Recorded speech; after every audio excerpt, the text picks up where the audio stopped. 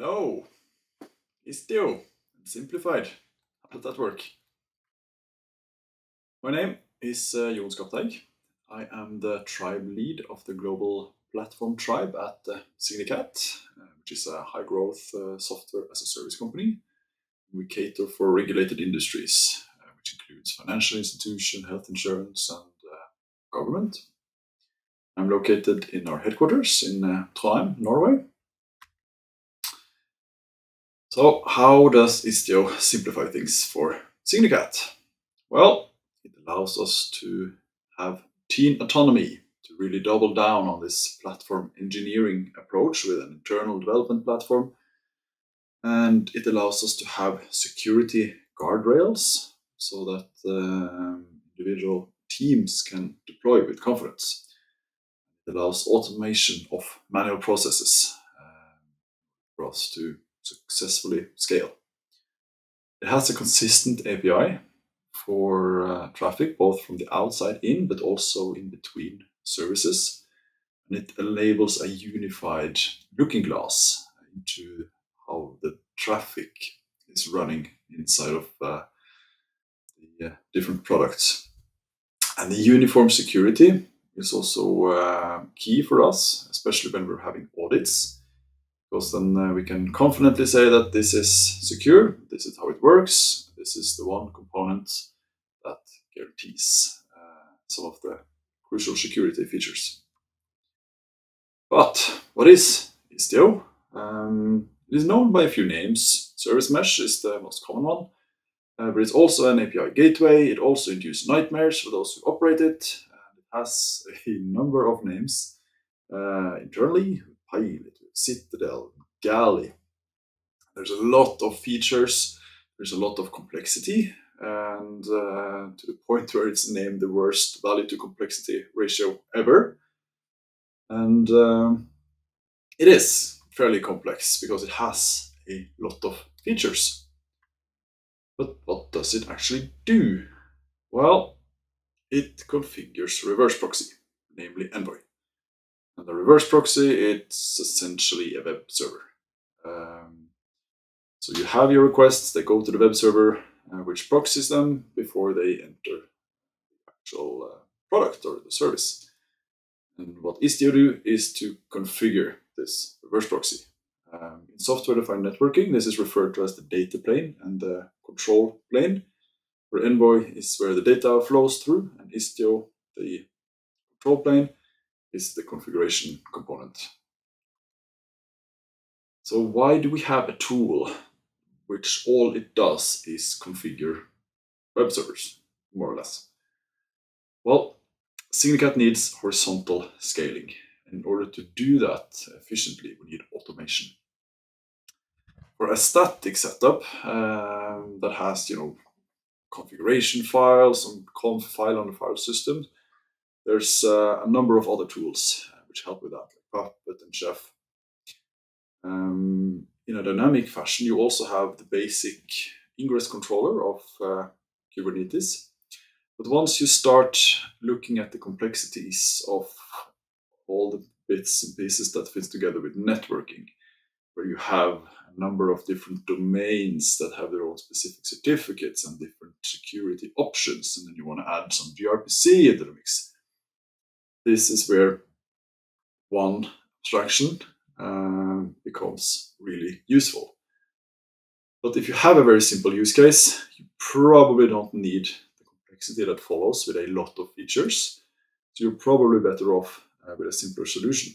But Signicat, uh, we do need these features uh, because we have customers in regulated industries. And um, this wonderful picture that uh, came from uh, Edward Snowden, where uh, the internal network is all unencrypted, and as soon as you are able to get in there, you can see all what's going on. This illusion of a secure network um, is no more. So we absolutely need to have security, encryption, also between services.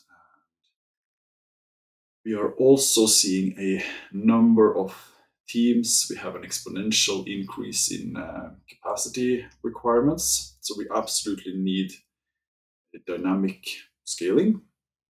And we have, uh, through mergers and acquisitions, quite a fragmented tech stack. So we have Java, we have .NET, we have PHP.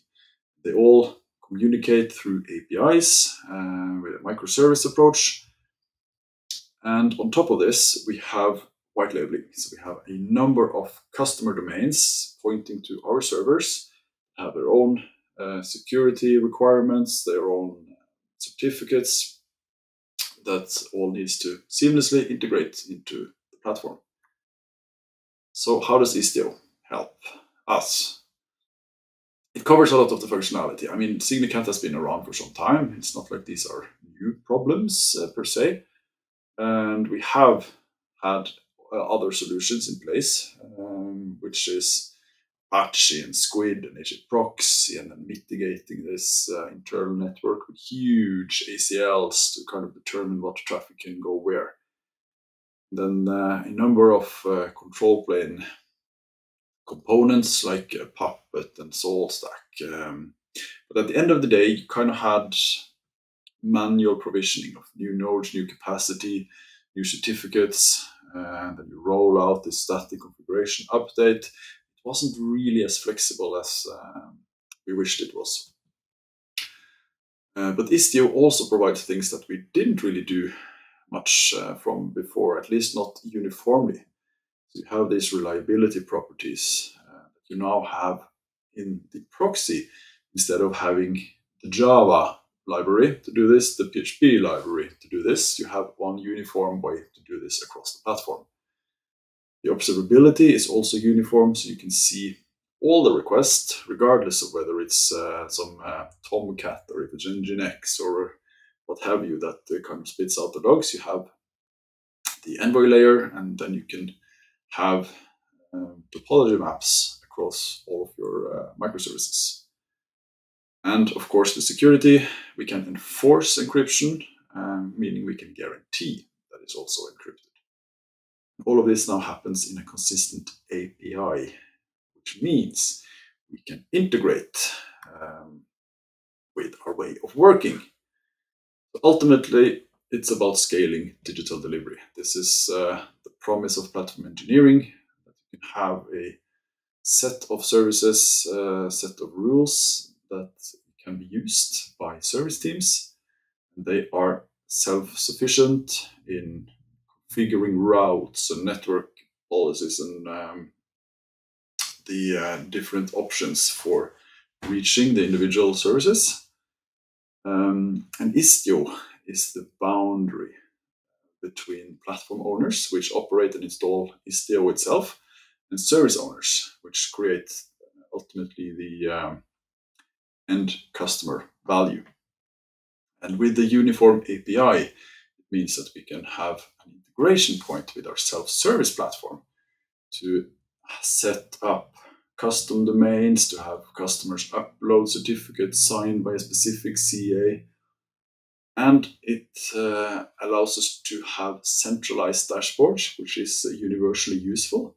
One example of this is the red metrics. And you can see these red metrics from all the services, and you just get it out of the box. It's available in the platform. So ultimately, complexity, it's the cost of scale. Um, and Istio itself, uh, it doesn't do anything but abstractions. It doesn't remove the underlying complexity.